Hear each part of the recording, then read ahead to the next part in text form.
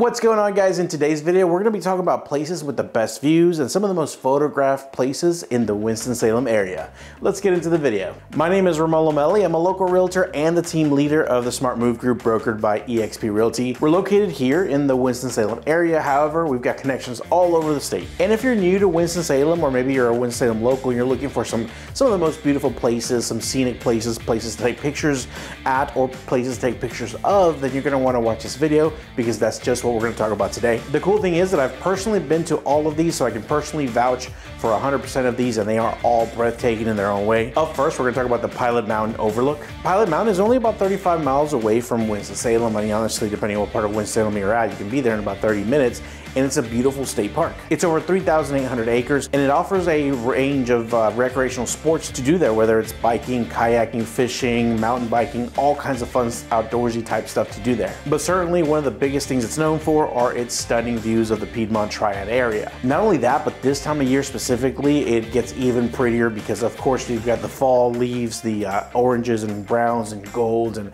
beautiful colors that are, uh, you know, falling down all around you. And it just becomes a very pretty drive up there. And when you're up there, it's even more beautiful. The great thing though, it's a free park to get in. It's free to park, obviously. Uh, and there are so many beautiful uh, spots throughout the entire Pilot Mountain to stop and take pictures or to just enjoy the scenery. But definitely, like I mentioned before, fall, the autumn, this is the best time to go up there. So we might even make it up there this year still. Something else that you're not gonna wanna miss is gonna be the rooftops in downtown Winston-Salem. Now don't get me wrong, they're not gonna be the tallest skyscrapers you've ever been on top of. They're definitely, you know, they're good sized buildings, but they're not New York City. But there are various rooftops and parking decks that you can get on top of and just enjoy what the city looks like, especially at night. I recommend doing this at night so you can see what, what's going on, where all the city, where all, everything is popping, where everything is kind of growing, where the liveliness is. And there's even a couple of parking decks that are kind of notorious for people to take pictures at, uh, whether it's, you know, uh, just professional pictures or family pictures, Christmas pictures, because you get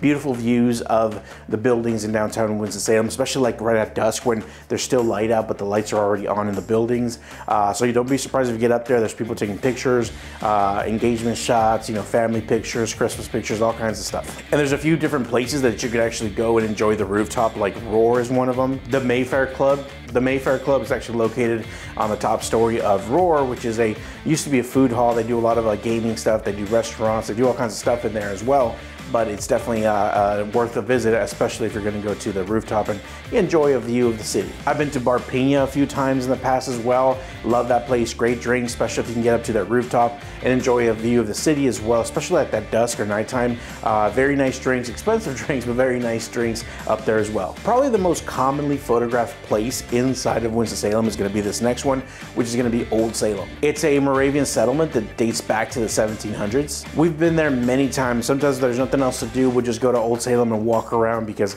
it's so pretty. You often get to see people walk around in, you know, the 1700s appropriate clothing. You get to see people living life the way they lived in the 1700s. There's also a college next door, so it's very, and there's a coffee shop and restaurants there. And, you know, cookies, uh, dessert stores and stuff. So it's a lot going on. So sometimes you walk around, look at these buildings from 300 years ago, and you get to walk right through them, walk around them, and enjoy the scenery. There's also a historic bridge that connects the actual museum from the Living History Museum um, that is beautiful, and it's kind of in the style of the way Moravians built things. Uh, there's a huge Moravian star in the center of it, so a lot of people take pictures there as well. But yeah, there are so many different colors and textures and backgrounds. So if you're a photographer or you just like to, to practice, or maybe you just want to take some cool Instagram pictures, uh, definitely worth checking out Old Salem. This next one I almost don't want to tell you guys about because I don't want it to get too overpopulated or overcrowded rather, uh, but I'm going to tell you guys anyway. Um, before we get into it though, I do want to remind you that if you have any questions, comments, concerns, number on the screen, that's my cell phone number, goes to no one else but me. I wouldn't be a good YouTuber if I didn't tell you to hit that like button, leave me a comment, but above all, and I really mean this, hit that subscribe button because it really does help me stay motivated, keep pumping out these videos for you, and it helps other people find the channel. I'm going to leave all my contact information below in case you have any questions about the area, as well as all of my social media handles, just in case you want to be my friend. One of the reasons you might want to be my friend on social media is simply because I tend to uh, document a lot of things going on in the Winston-Salem area. So if you're looking for restaurant reviews, things to do, the Dixie Classic Fair, the Carolina Classic Fair, I should say, um, anything at all, feel free to uh, follow me on there. You'll see all kinds of pictures and videos. Number four on today's list is gonna be Quarry Park. Quarry Park is super cool for photography, for relaxation, to take the kids, They have concerts out there. Sometimes they have vendors. They have food trucks going out there as well sometimes.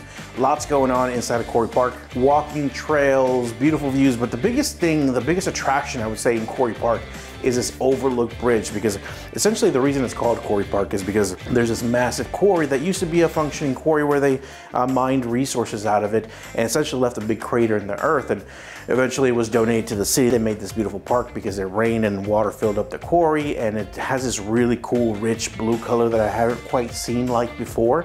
So you can go into overlook and kind of look down right into the middle of the quarry, which is a little intimidating sometimes depending on, on who you are. But also if you look straight ahead, you see downtown Winston-Salem, uh, which is really cool. So if you can go out there in the evening when the lights are on once again, it's really pretty.